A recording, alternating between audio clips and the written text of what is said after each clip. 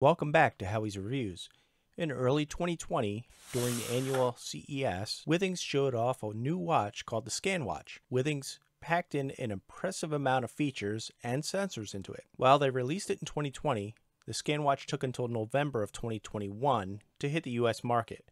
We're going hands on with this amazing timepiece with advanced technology on board.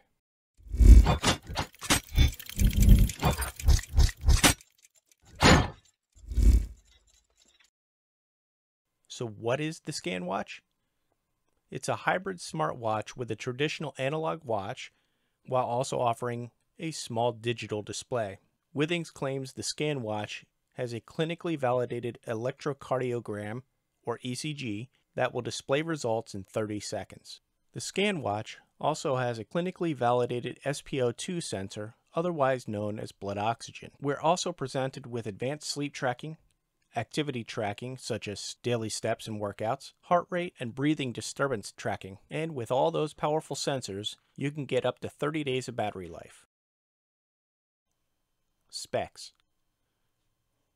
The 38mm model has a watch face size of 1.6 inches. It's 13.2 millimeters thick, weighing 58 grams, and accepts an 18 millimeter band. The 42 millimeter model, which I have, is just slightly bigger at 1.65 inches, 13.7 millimeter thick, and 83 grams. This model uses the 20 millimeter band. They both have nice solid stainless steel cases with chrome hands and a wonderful sapphire glass. This watch is solid and feels very premium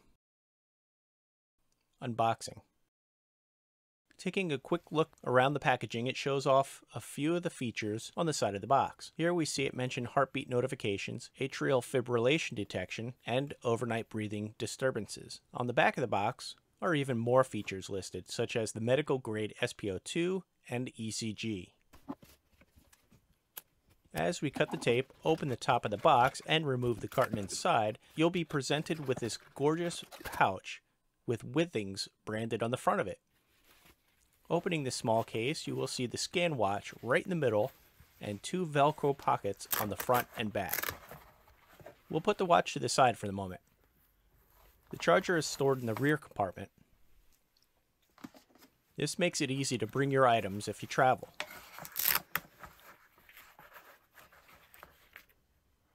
There are also a few documents in the box which might be a good thing to read. Display.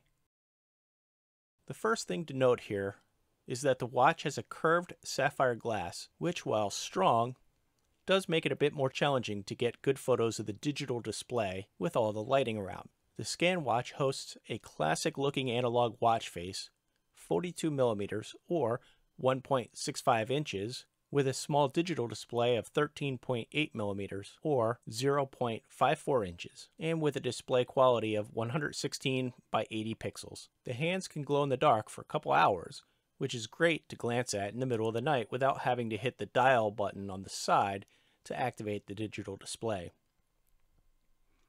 This small PMOLED, that's right, not AMOLED, PMOLED panel is nice and bright and easy to read. It can not only show the different menu options with basic icons, but can also scroll notifications that come from your Bluetooth connected iPhone or Android. Compare sizes.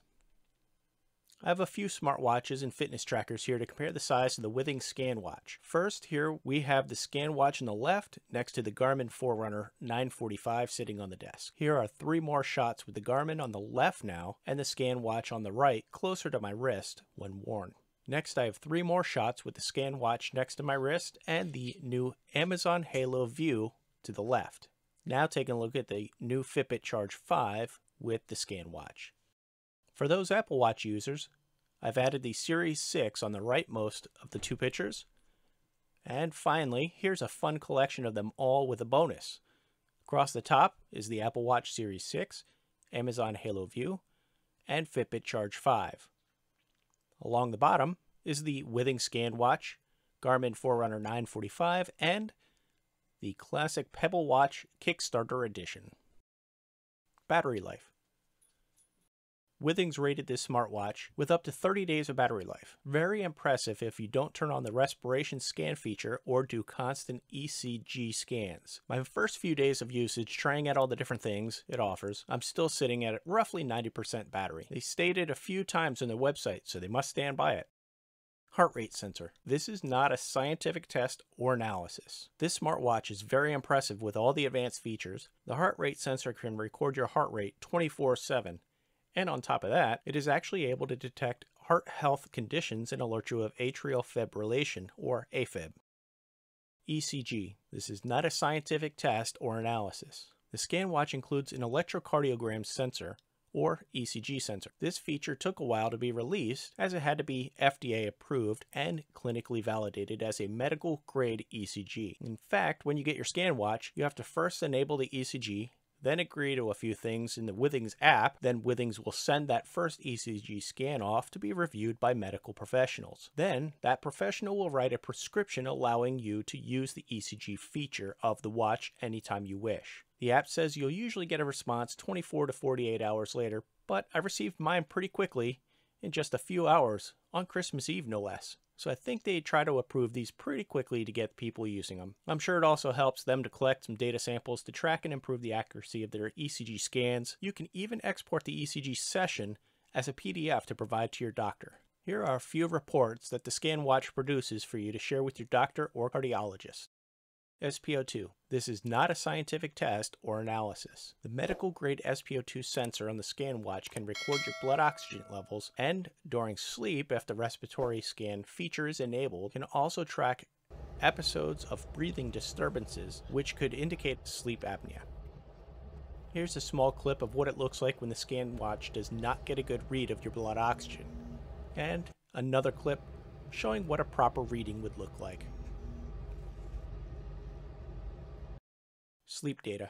This is not a scientific test or analysis. This is the area I focused most of my time tracking. I compared each night against my Amazon Halo View, Fitbit Charge 5, and my sleep tracker by Beautyrest, which is an under the mattress device. Most wrist based sleep tracking devices have a hard time deciphering the different sleep stages, so Withings decided to approach us by not defining REM sleep. Instead, the ScanWatch will only display light and deep sleep. Here is a chart of the last few nights of sleep. We're going to ignore the score column, as I feel this is an arbitrary number and would assume that each platform has their own measurement and weight for each portion of the score itself. Starting with the most recent night, December 28th, you can see four different devices that recorded my sleep. The Amazon Halo View, and my sleep tracker under the mattress sensor both agree on when they think I fell asleep around 1 a.m. They also both agree closely on the duration of REM sleep, the time I spent awake, and the number of disturbances during the night. Here in the blue box, you can see when the Withing ScanWatch thinks I fell asleep. It is drastically off by over an hour. This isn't the only time the ScanWatch did that. In fact, you can see it also on the 24th. Because the ScanWatch does not display REM,